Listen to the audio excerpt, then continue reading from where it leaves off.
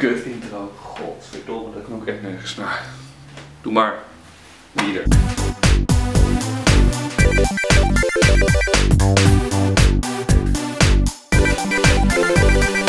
Yo, wat gasten, welkom bij deze allernieuwste power-up van de nieuwste tot de nieuwste allernieuwste. Yay! Gisteren kon Alvin geen power-up maken, dus maak ik vandaag maar een power-up. Over iets wat al lang besproken had moeten zijn.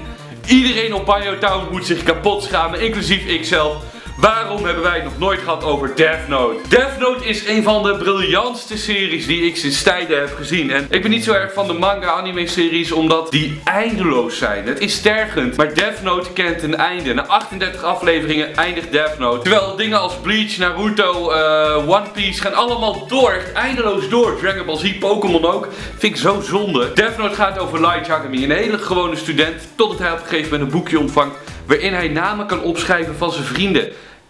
Nee, niet van zijn vrienden. Doe maar niet je vrienden. Waarin hij gewoon namen kan opschrijven. En als hij een gezicht bij de naam heeft, zal die persoon sterven aan een hartaanval binnen 40 seconden. De Death Note kent allemaal regels. Binnen 40 afleveringen wordt het allemaal uitgelegd. Light Yagami. Light Yagami gaat de Death Note gebruiken om alle criminelen te doden op aarde. Alleen de beste detective van de wereld, L die gaat daar een stokje voor proberen te steken samen met de Japanse politie. Leuk feitje, de vader van Light Yagami is de hoofdcommissaris bij de Japanse politie. Dus eigenlijk gaat de vader van Light jagen op Light. En boven de vader van Light staat dan L. En L en Light hebben een soort gevecht. Want L is niet een volledige naam. Dus hoe kan Light Yagami dan L vermoorden? En de andere vraag is natuurlijk, hoe kan L erachter komen dat Light degene is met de Death Note? Het beste van deze hele serie is waarschijnlijk de muziek. Die muziek is zo opslepend. Je raakt door die muziek zo erg in de serie gezogen gewoon. Het is absurd. De serie kent heel veel vaste plaatjes. Zeg maar gewoon een foto en daar kijk je 10 seconden lang naar. Alleen ze heel langzaam gaan ze die hele foto laten zien. Alleen door de muziek blijft het gewoon boeiend. Wat misschien nog wel beter is dan de muziek is de tekst. Hoe het geschreven is. De one-liners.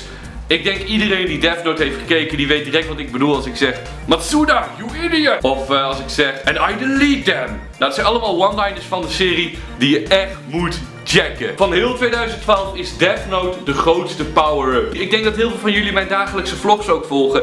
En heel veel van jullie zijn ook al doodgegooid met Death Note. Ik heb ze lekker op DVD. Ik kan ze nergens kopen. Ik heb ze wel gekocht. Als ik ze heb gekocht, dan kan je ze wel ergens kopen. Als jij Death Note wil kijken, kan ik je aanraden om gewoon hierboven op YouTube Death Note Episode 1 English Dub in te typen. Want deze dvd's zijn alleen Japans en Frans met Nederlandse ondertiteling. En ik vind de Engelse voice-over veel beter dan een Japanse of Franse voice-over. Oh no, Sam catastrofaal. In ieder geval Death Note, dikke power-up van dit jaar. Alsjeblieft. Maar in ieder geval gasten bedankt voor het kijken en ik check jullie later.